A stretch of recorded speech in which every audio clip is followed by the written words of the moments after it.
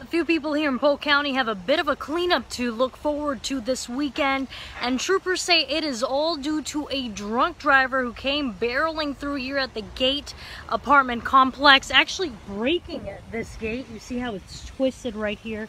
There's uh, tire marks over there.